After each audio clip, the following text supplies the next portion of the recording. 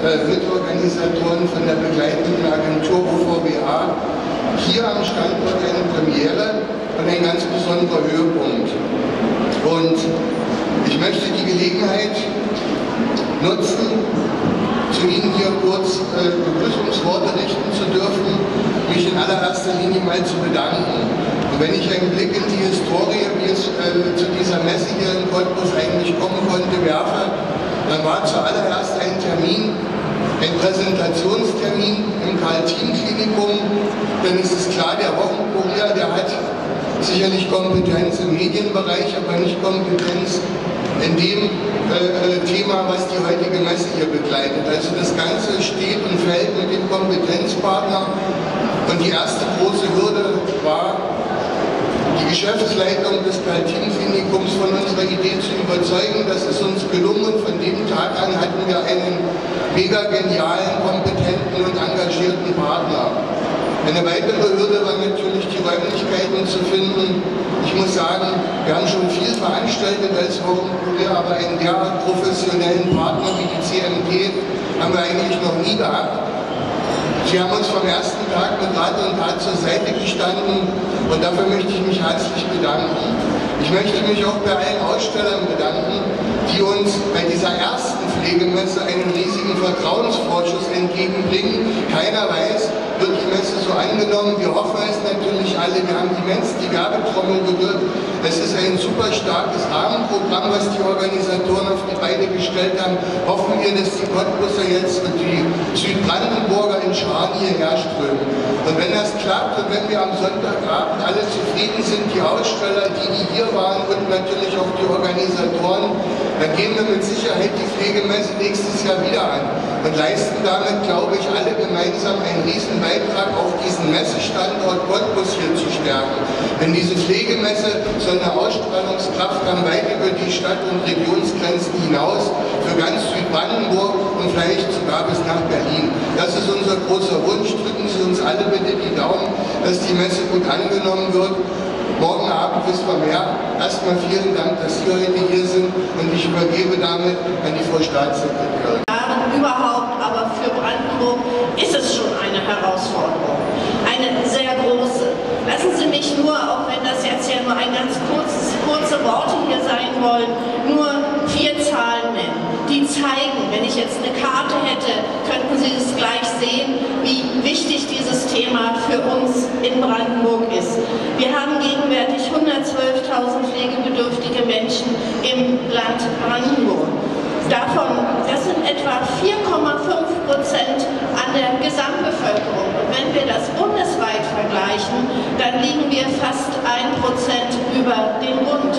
Das heißt, in Brandenburg insgesamt, auch in Cottbus, auch vor allen Dingen in den umgebenden Landkreisen von Cottbus, aber vor allen Dingen auch in der Uckermark, in der Prignitz, viel mehr pflegebedürftige Menschen als woanders im Land. Wenn wir das hochrechnen würden, wenn, wenn sich nichts verändern würde mit der jetzigen Bevölkerungsprognose, würde diese Zahl von 112.000 auf 174.000 ansteigen. Das mag nicht so viel sein. Wir haben aber jetzt schon das Problem, dass wir nicht genügend Pflegekräfte haben, Pflegehilfskräfte, Pflegefachkräfte. Das heißt, alle Sie, alle die hier heute auch da sind, sind eine Werbung auch für, den, für Berufe in der Pflege. Das heißt, das wird, äh, das wird ist eine der ganz, ganz großen äh, Themen, die wir auch in unserem Land mit Hilfe des Landtages auch unterstützen. Freue ich mich, dass hier vor allen Dingen auch, ja, ich glaube, von fast allen Parteien auch die Landtagsabgeordneten da sind.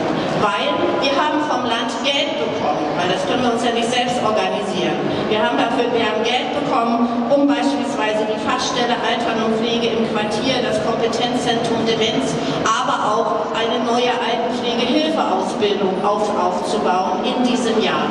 Da ich jetzt hier keinen Vortrag halten soll über das Thema Pflege im Land Brandenburg, sondern hier kurz bleibe, sollen diese Zahlen und diese Punkte reichen, um zu zeigen, dass, es, dass ich denke, dass eine solche Messe durchaus auch gewerblich organisiert, ganz in, den, ganz in die Zeit passt, Herr Berge. Und ich wünsche, dass wir wissen, das haben wir bei der Pflegetour von Ministerin Golz und mir gemerkt, dass ganz, ganz viele Menschen ja interessiert sind. Wo gibt es Hilfsmittel? Wo kann ich Unterstützung bekommen? Und, das möchte ich zuletzt noch sagen, mit Blick auf Herrn Weiße und auch auf die Stadtverordneten, die hier sind. Wichtig ist, dass auch die Kommune sich engagiert. Wer den siebten Altenbericht vom vergangenen Jahr gelesen hat, der weiß, gerade die Kommune auch wenn sie bisher gar nicht die Aufgabe zugeschrieben bekommen hat über Gesetze, hat eine ganz, ganz wichtige Aufgabe, nämlich eine Infrastruktur zur Verfügung zu stellen. Nicht nur Behinderten- und altengerechte Wohnungen, auch insgesamt eine gute Infrastruktur. Insofern schön, dass Sie alle gekommen sind. Ich bin auch ganz interessant, wir, wir machen ja nachher noch einen kurzen Rundgang und ich wünsche der Messe viel Erfolg und vor allen Dingen Ihnen als Cottbusserinnen und Cottbusser viele interessante Gespräche. Nehmen Sie viele Ideen, viele Gedanken mit, weil Pflege geht uns jetzt schon fast alle an in der Familie und es wird auch in Zukunft so sein. Danke. Zahlreiche Besucher die Chance auch wahrnehmen werden, sich zu informieren, um ihre Fragen beantwortet zu bekommen. Ich will zunächst Grüße vom Oberbürgermeister Holger Kelch bestellen. Er eröffnet zur gleichen Zeit in der Stadthalle, ich glaube, regional und wird in der nächsten Stunde, denke ich, auch zu uns kommen. Meine Damen und Herren, Menschen werden älter, Menschen bleiben länger gesund und vital, Menschen wollen in den eigenen vier Wänden bleiben. Älter werden, wie Sie wissen, heute kein Problem. Die Lebenserwartung der Menschen in Deutschland äh, ist in den letzten Jahren deutlich gestiegen. Bei Frauen um etwa sieben Jahre, bei Männern um fast acht Jahre. Wir freuen uns darüber, denn wir werden ja nicht nur älter, wir bleiben auch länger gesund. Die Renten- und Pflegeversicherung allerdings machen sich so ihre Gedanken, wie diese Herausforderungen gemeistert werden sollen. Denn nicht nur die gesunden, auch pflegebedürftige Menschen wollen aktiv und selbstbestimmt leben. Darauf müssen wir, die Fachleute, darauf muss die gesamte Gesellschaft sich einstellen. In Cottbus wird die Zahl der Pflegebedürftigen von derzeit um 3% auf etwa 4,5% der Bevölkerung bis zum Jahr 2035 ansteigen. Schon heute muss jeder Zehnte in Cottbus mit einer Behinderung oder Einschränkung leben. Die erste Pflegemesse in Cottbus setzt bei diesen wichtigen Themen an. Was kann man mehr als bisher tun, um Pflege zu vermeiden oder zumindest auf ein Mindestmaß zu reduzieren? Wie können pflegende Angehörige wirksam unterstützt werden? Was können die Kommunen mit ihren Netzwerken und Kiezstrukturen tun, um sowohl den Betroffenen, aber auch den Pflegenden Unterstützung zu geben? Und wie gewinnen wir genügend Pflegefachkräfte? All diese Fragen bewegen die Fachleute und Politiker auf Landes- und kommunaler Ebene. Es gibt keine schnellen Lösungen, aber es gibt auch kein Weiter so. Wir müssen also gemeinsam uns den genannten Herausforderungen stellen. Solange wie möglich in den eigenen vier Wänden leben können. Um diesen Wunsch zu erfüllen, müssen wir entsprechende und vielfältige Hilfsangebote schaffen. Stationäre, ambulante und auch ehrenamtliche. Das Ehrenamt spielt bereits heute eine große Rolle. Aber auch die Beratungsstrukturen leisten einen wichtigen Beitrag zur Vermeidung von Pflegebedürftigkeit und zur Befähigung der pflegenden Angehörigen, damit diese die rechtlichen und finanziellen Rahmenbedingungen nutzen können. Frau Staatssekretärin, wir sind in den Kommunen nicht immer einverstanden mit den Ideen der Landesregierung. Aber für die Schaffung der Pflegestützpunkte haben Sie meine uneingeschränkte Anerkennung.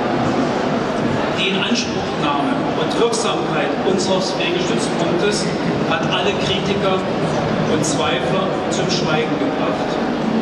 Sorgen wir gemeinsam mit den zuständigen Krankenkassen dafür, dass dieses Beratungszentrum so weiterentwickelt wird, dass es mit den Anforderungen der heutigen Zeit mithalten kann. Mit den Pflegestärkungsgesetzen 1, 2 und 3 soll vieles verbessert werden. Zum Beispiel gibt es seit dem 1. Januar dieses Jahres statt drei Pflegestufen nun fünf Pflegegrade. Das soll eine noch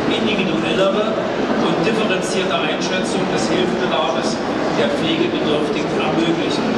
Davon profitieren beispielsweise Demenzkranke und ihre Angehörigen. Andere Auswirkungen der neuen Regelung werden in den nächsten Wochen und Monaten zu werden sein. Auch hier ist es das Ziel, Hilfe so anzubieten, dass die Betroffenen möglichst lange in ihrem gewohnten Umfeld, in ihrem Zuhause leben können. Diesen Ansatz begrüßen wir, denn er ist zeitgemäß. Allerdings muss ich darauf verweisen, dass dem Anspruch auch das Geld folgen muss. Denn die ambulante Pflege ist eine kommunale Aufgabe, für die wir in diesem Jahr etwa 300.000 Euro mehr zur Verfügung stellen als im Jahr 2016. Also hier braucht das die Gemeinsamkeit mit dem Land Brandenburg, den begrüßenswerten Trend in der Pflege besser finanziell auszustatten und dabei auch die kommunal anfallenden Personal- und Verwaltungskosten mit im Blick zu haben. Ich danke dem Wochenkurier, dass er diese Messe neben Standorten wie Lübau und Dresden nach Cottbus geholt hat. Fast 70 Aussteller werden dafür sorgen, dass keine Frage unbeantwortet bleibt. Damit ist diese Messe ein stolzer Beleg für die Leistungsfähigkeit dieser Region im Süden Brandenburgs. Lassen Sie uns diese zwei Tage intensiv nutzen, um gemeinsam im Sinne der zu Pflegenden ihrer Angehörigkeit, ihrer Angehörigen und der Pflegekräfte voranzukommen. Vielen Dank. Damit hat sich innerhalb das Klinikum weiterentwickelt. Weiterentwickelt war aber dabei, war aber dabei immer modern für die Epoche und steht stets für ein breites medizinisches Angebot und ist dabei aber auch sehr differenziert.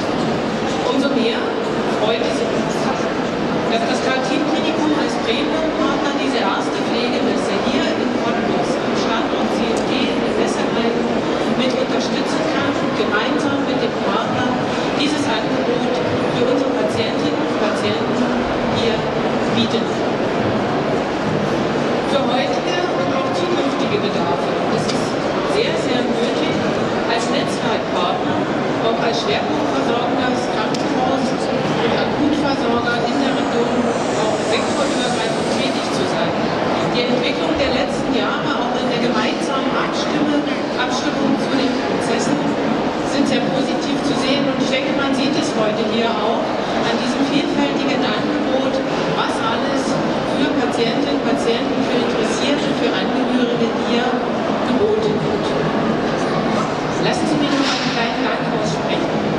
Ein Dank an den Wochenkurier für diese innovative Idee. Und die Idee ist das eine.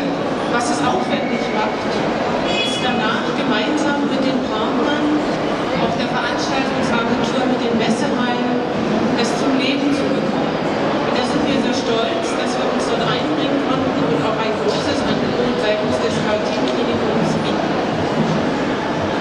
Als Pflegedirektorin am Kartin-Klinikum Campus noch eine kurze Information in eigener Sache. Ich habe eingangs gesprochen von über 100 Jahren medizinische Versorgung Kartin-Klinikum. Wir haben hier heute um 12 Uhr genau an dieser Stelle aktiv zu eine historische Modenschau von Schwesterntrachten. Die werden die Epochen darstellen, die medizinische Schule, unsere Schülerinnen zusammen mit Lehrerinnen und Lehrern haben das vorbereitet. Dazu darf ich Sie recht herzlich einladen und natürlich auch an alle anderen Stände unserer Partner. Lassen Sie sich überraschen und uns gemeinsam ins Gespräch kommen. Vielen Dank. Wir haben derzeit 5700 freie Arbeitsstellen in Südbrandenburg und unter den Top 10 sind natürlich die Berufe der Gesundheits- und Pflegebranche. Schon länger ist es nicht einfach, diese Arbeitsstellen zu besetzen und interessierte Menschen zu finden, die sich äh, neu auch in dieses Berufsfeld wagen. Es ist ein sehr interessantes Berufsfeld mit vielfältigen Möglichkeiten, sich zu entwickeln.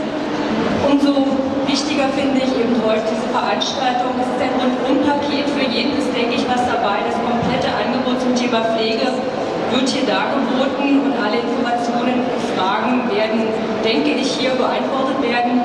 Und wir als Agentur für Arbeit stehen natürlich zum Thema Beruf, Arbeit, Ausbildung gern zur Verfügung, sind mit unserem Stand dabei und freuen uns auf Ihren Besuch.